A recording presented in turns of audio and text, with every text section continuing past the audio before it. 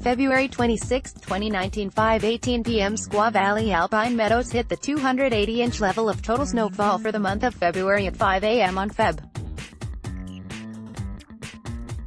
26, 2019, which means the record for snowiest month, 282 inches, will soon fall.